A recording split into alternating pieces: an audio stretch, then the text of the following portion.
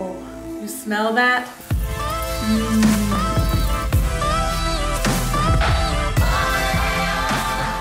It's such a beautiful morning and that means it's time to make some pumpkin pancakes because it is Thanksgiving, so what a better time than to enjoy the Thanksgiving cuisine, breakfast, lunch, and dinner. So I got my Christmassy whisks ready, and I'm gonna show you how easy it is to make these pancakes, and trust me, it's gonna knock your socks off.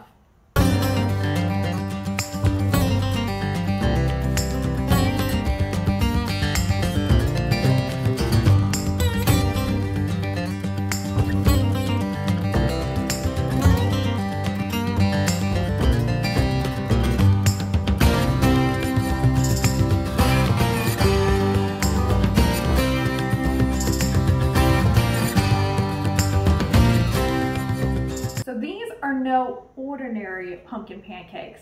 They're actually gluten-free pancakes. So how we're gonna do this is we're gonna make this without flour. So we have some rolled oats here that I'm gonna put in the blender to grind up so that this will then turn into that binding ingredient to hold these pancakes together.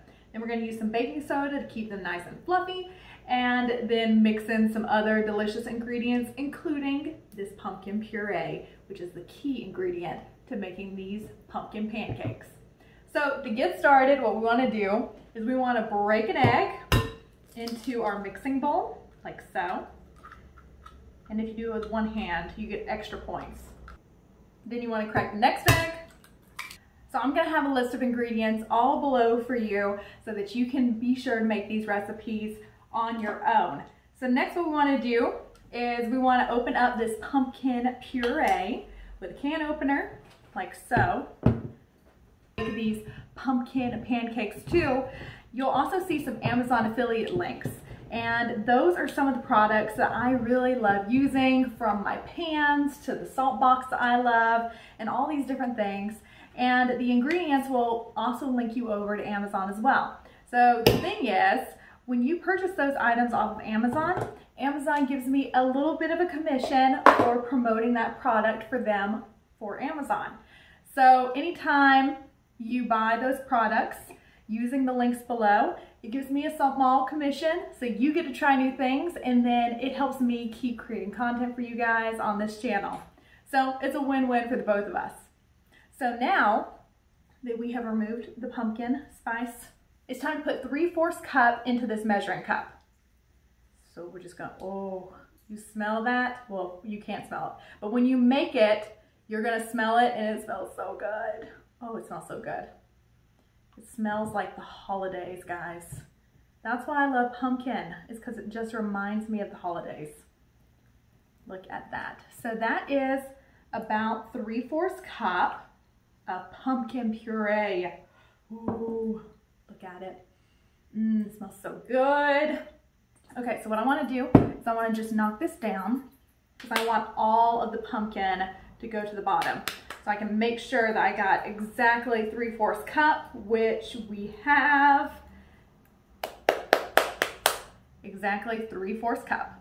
Now we're gonna add this to the mixing bowl. Come on out, buddy. Come on.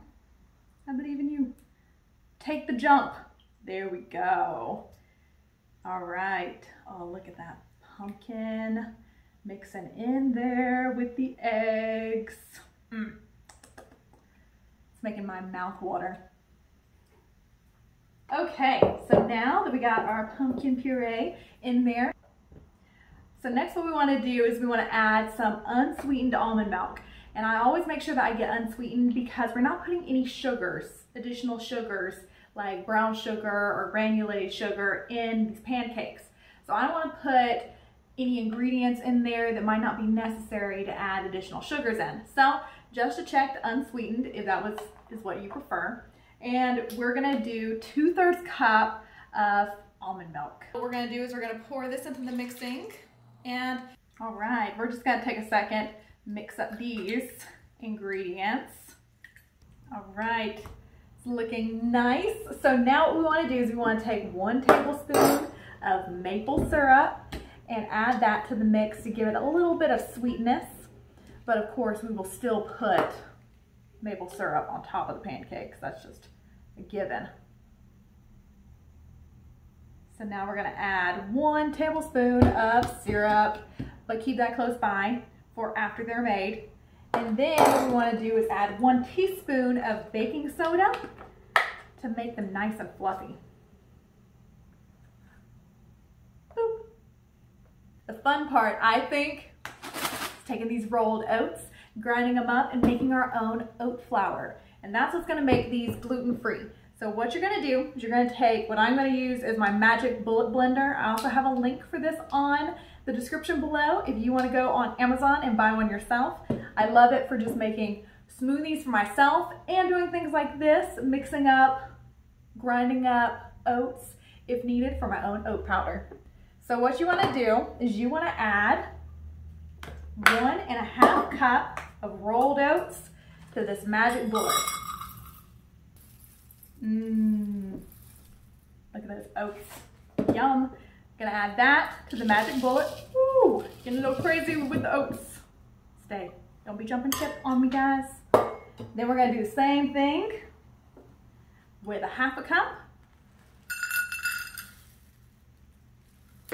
So now we're gonna screw on the magic bullet lid, which is where all the grinding happens.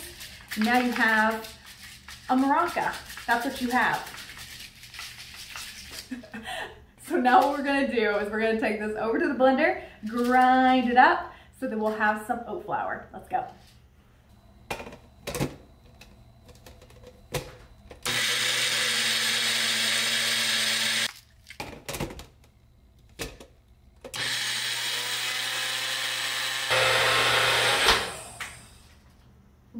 guys. That's how you make your own oat flour. Can you believe it's that simple? So now that our oats are nice and ground up, we can add this one and a half cup of oats to the mix.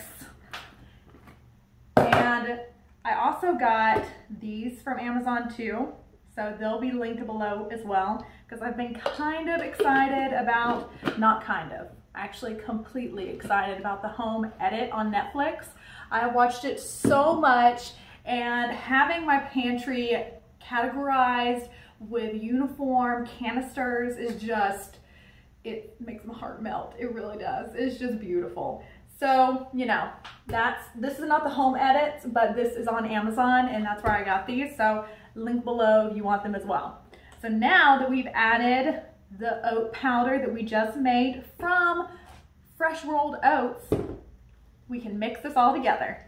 And now, one of my final ingredients, we just want to sprinkle in some cinnamon. Whoa, cinnamon got a little excited.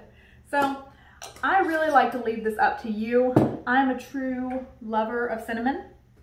So I put a good bit in there. It was a little bit more than a sprinkle. It was more like a dab or a, a toss of cinnamon. So but I like to do it towards like smell and that is starting to smell really good. Finishing mixing out these ingredients. You know what time it is. Cue the music. Down in the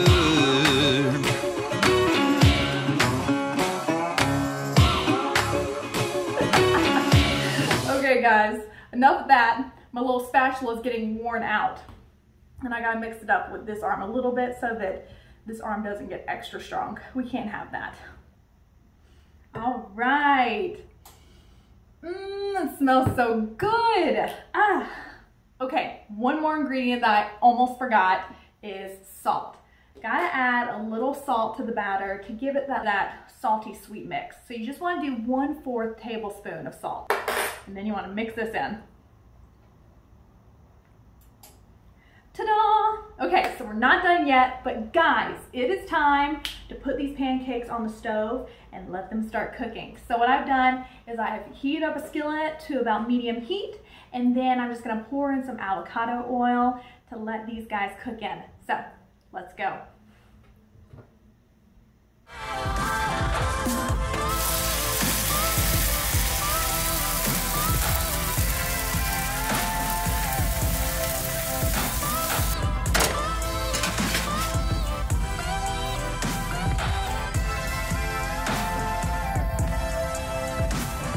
All right, you guys, look at those pancakes. Oh, they're still steamy.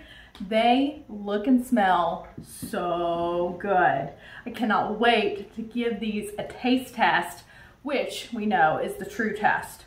So, of course, we have to add a little syrup on top to make them perfection. Oh, guys, look at that. I can't even. That was a lot of syrup, but that's my kind of syrup right there. Just enough that will fill the bowl too.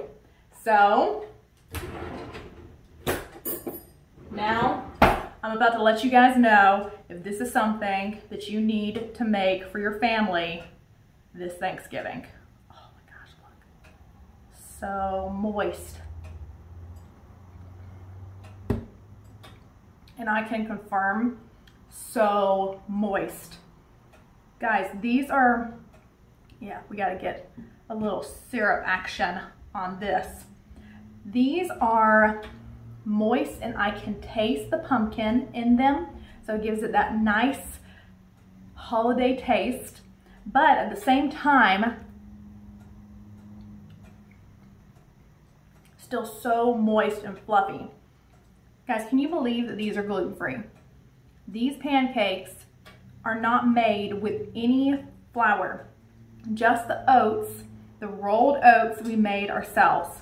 Guys, oh my gosh, it's so good. Okay, so Thanksgiving just got even more special for you guys because now Thanksgiving morning, you can surprise your family with these delicious pumpkin pancakes, then roll right into cooking the turkey, making some sweet potato souffle, and all the works. Don't forget stuffing. I can't wait to go visit my parents and see them and also do all of our fun family recipes because us Pratts, we love to cook in the kitchen. So it's gonna be a fun week. So I hope you've learned a lot from this and that you um, can go and try this on your own. And if you post on Instagram, please tag me. I'd love to see it at Southern Urban Life. And if you haven't already, go on and subscribe below so you get notified every time a new video is posted. I love making things, whether it's food or DIY, and keeping it healthy at the same time. So if you are interested in those kind of things too, we make new videos and post them every Monday. So be sure to subscribe and hit that bell button so you get notified every time a new video is posted and you will never miss out. So until next time, guys, I will see you then. Bye, y'all. So, so good.